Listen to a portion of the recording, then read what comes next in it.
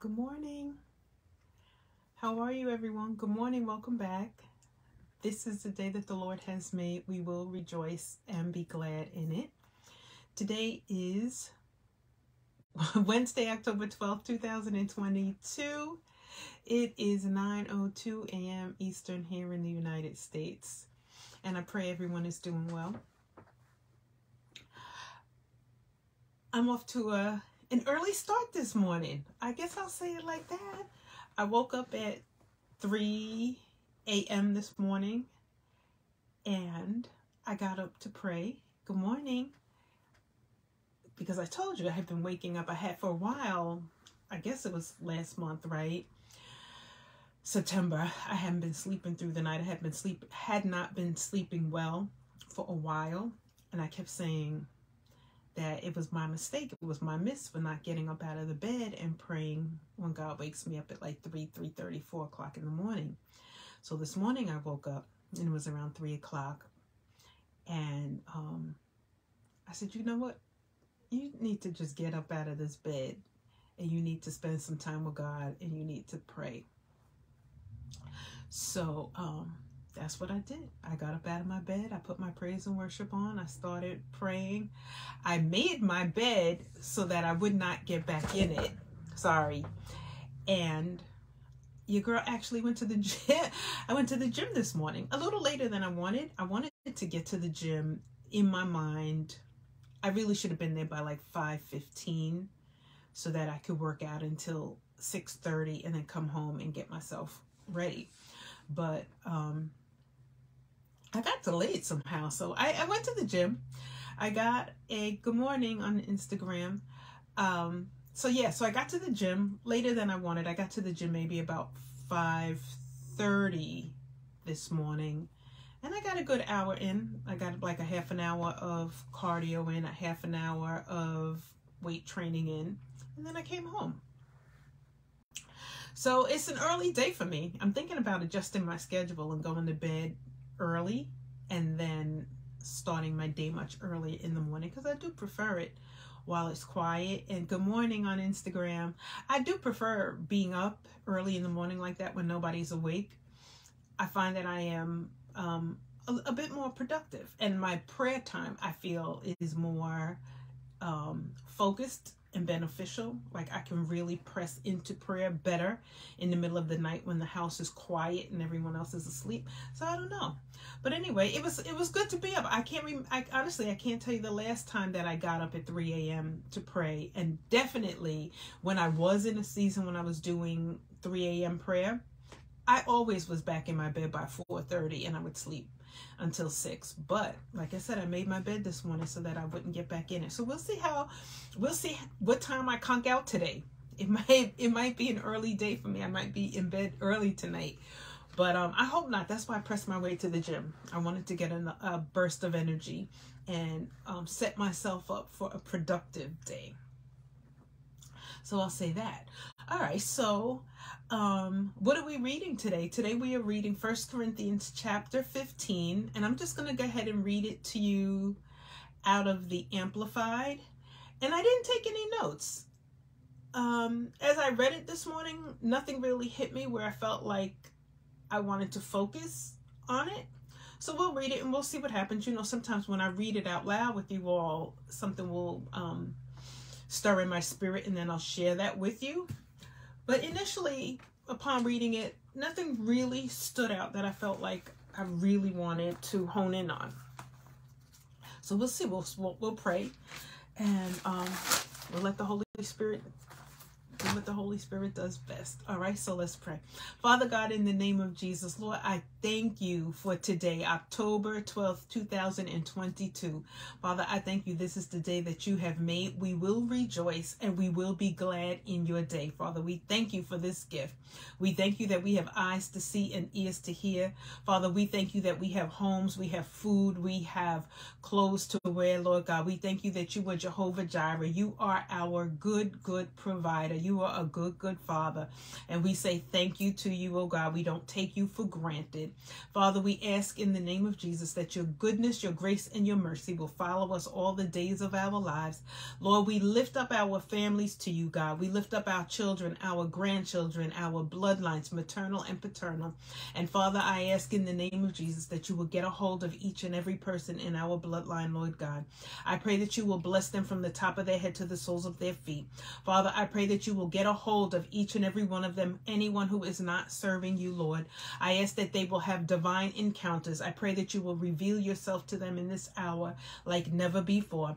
Father, I pray that you give them a heart, a thirst, and a hunger to know, to serve you, and to love you, oh God. Father, in all of our lives, I ask that if there's anything that is out of divine alignment, anything that is not according to your will, anything that is not working for our benefit at this moment, oh God. Father, I pray that you remove all the wrong people, places, and things from our lives, remove wrong activities, God.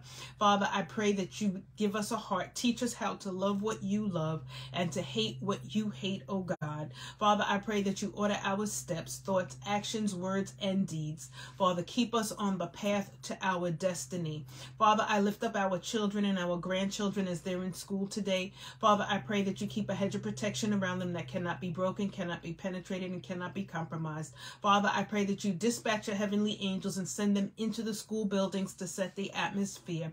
Let the atmosphere be set. Let there be peace. Let there be calm. Let it be an atmosphere for learning where they can comprehend their subjects and that they can excel. Father, I pray that this will be their best academic school year to date. Father, cause them to excel and exceed expectations. Father, I ask that you bless the works of our hands, everything that we put forth our hands to do. Father, may it prosper. May it be pleasing to you, but may it prosper. Father, I ask that you bless our finances, cause our bank accounts to be full, Lord God, that we can sow into kingdom projects, oh God, that we can help others who are in need. Lord, I ask that you give us wisdom in how to prepare and structure our days, our household, our finances, our eating habits, oh God. Father, teach us to eat better for our body, that our bodies will be healthy, Lord God. I pray that disease and sickness will be far from us, oh Lord. Father, I pray that you rejuvenate us, restore us, oh God. I thank you for restoration.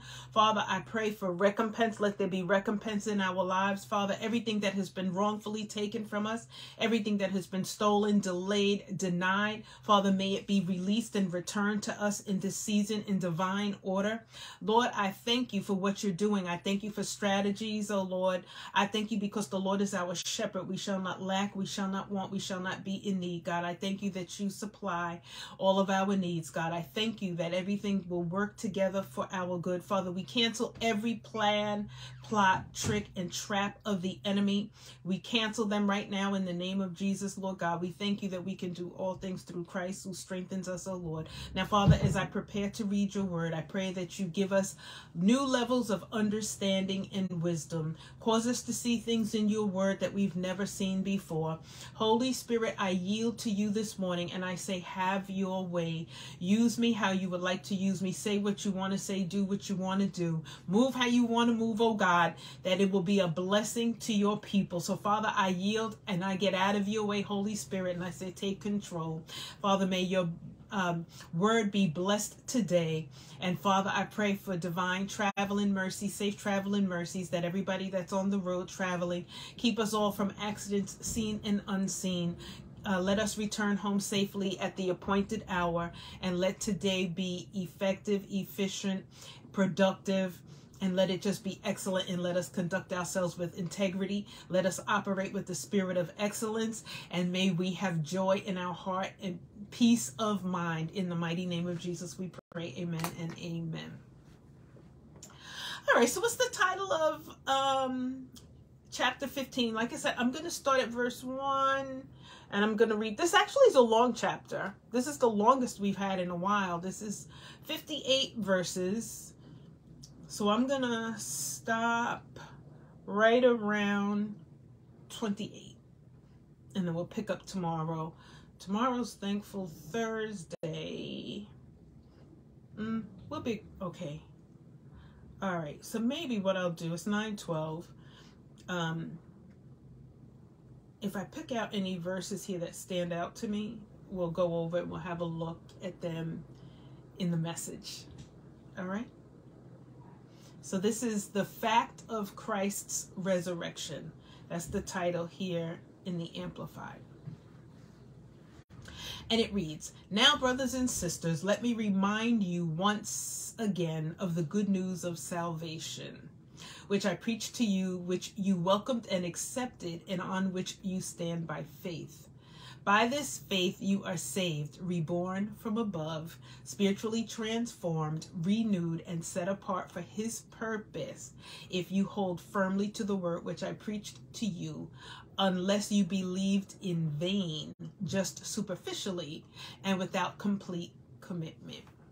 For I passed on to you as of first importance importance what I also received that Christ died for our sins according to that which the scriptures foretold, and that he was buried, and that he was bodily raised on the third day according to that which the scriptures foretold. And that he appeared to Cephas, Peter, then to the twelve. After that, he appeared to more than 500 brothers and sisters at one time, the majority of whom are still alive, but some have fallen asleep in death. Then he was seen by James, then by all the apostles, and last of all, as to one untimely, prematurely, traumatically born, he appeared to me also. For I am the least worthy of the apostles and not fit to be called an apostle, because I at one time fiercely oppressed and violently persecuted the church of God. But by the remarkable grace of God, I, I am what I am, and his grace toward me was not without effect. In fact, I worked harder than all the apostles, though it was not I, but the grace of God, his unmerited favor and blessings, which was with me.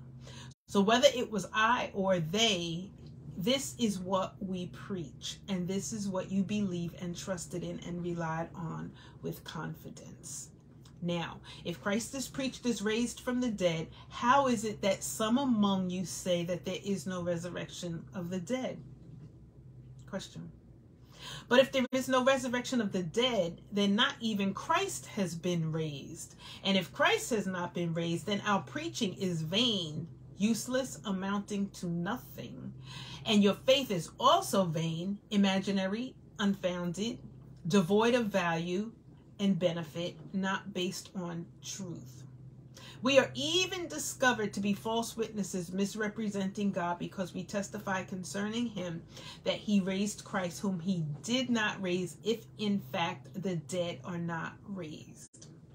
For if the dead are not raised, then Christ has not been raised either. And if Christ has not been raised, your faith is worthless, powerless, mere delusion. You are still in your sins. Uh oh and under control and penalty of sin. Then also then those also who have fallen asleep in Christ are lost. If we who are abiding in Christ have hoped only in this life and this is all there is, then we are all we are of all people most miserable and to be pitied. The order of resurrection. Next section, verse 20 now. But now, as things really are, Christ has in fact been raised from the dead, and he became the first fruits. That is, the first to be resurrected with an incorruptible, immortal body, foreshadowing the resurrection of those who have fallen asleep in death. For since it was by man that death came into the world, it is also by a man that the resurrection of the dead has come. For just as in Adam all die, so also in Christ all will be made alive. Verse 23 But each in his own order Christ the first fruits, then those who are Christ's own will be resurrected with incorruptible, immortal bodies at his coming. After that comes the end, completion, when he hands over the kingdom to God the Father after he has made inoperative and abolished every ruler and every authority and power. For Christ must reign as king until he has put all his enemies under his feet. The last enemy to be abolished and put to an end is death. For he, the Father, has put all things in subjection under his Christ's feet. But when he says all things have been put in subjection under Christ, it is clear that he, the Father, who put all things in subjection to him, Christ is accepted since the Father is not in subjection to his own Son. However, when all things are subjected to him, Christ, then the Son himself will also be subjected to the one, the Father, who put all things under him, so that God may be all in all, manifesting his glory without any opposition, the supreme indwelling and controlling factor in life. Well, that was a nice turnaround because we sure don't want our, our faith to be in vain, right? Um, I still don't really have too many thoughts of this. I guess my thought would be, you know, putting it in the natural, is that there were times when people do their faith wavers and they do question um, their faith. They question everything that they know or have known when your faith is tested, right? Sometimes when it could be, it could happen with the loss of a loved one and you're, um, questioning why God did not save them. Why did they die, you know, prematurely, untimely? Why did they die so young, right? Especially when you have young children that pass away. It can shake certain, you know, some people might lose faith, lose hope. But rest assured, um, God is who he says he is. He is not dead. He is yet alive and so we have to keep you know we have to keep pressing and keep pushing through those times. And i know it's easier said than done. You know i lost my father back in 04 he died of cancer.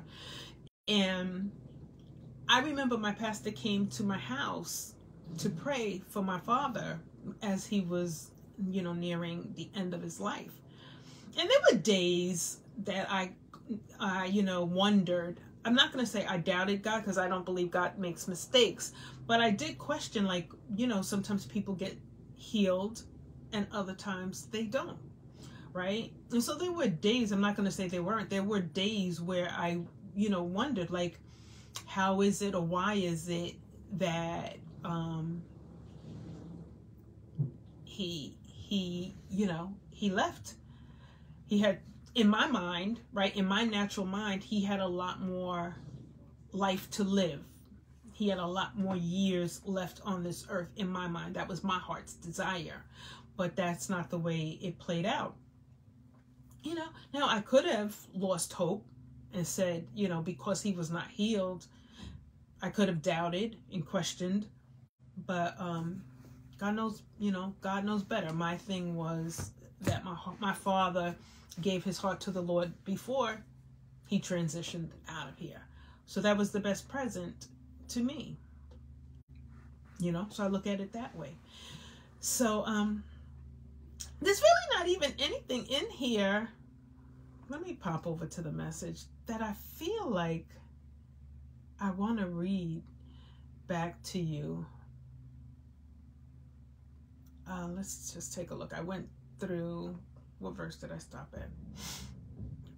I told you guys I stopped at 29. All right, let's see. Maybe I'll take a look at here, verse 21. There is a nice symmetry in this death. In this, I'm sorry. There is nice symmetry in this. Good morning, Sharon. Death initially came by a man, and resurrection from death came by a man. Everybody dies in Adam, everybody comes alive in Christ.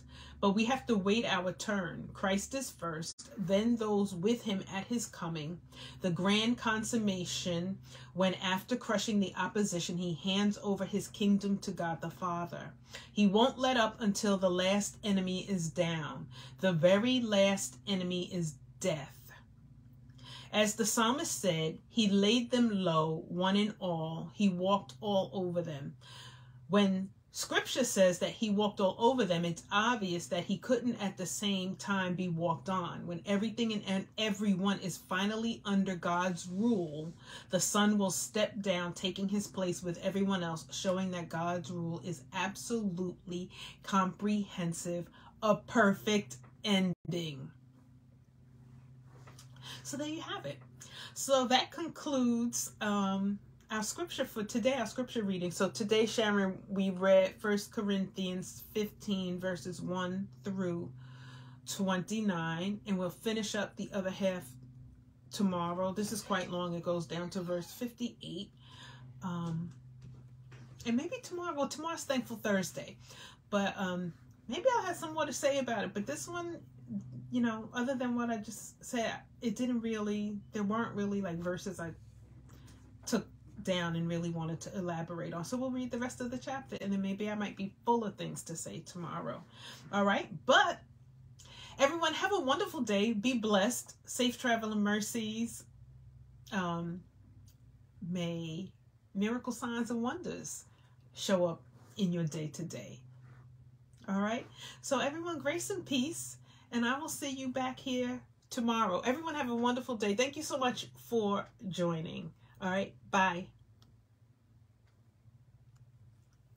Bye, Sharon.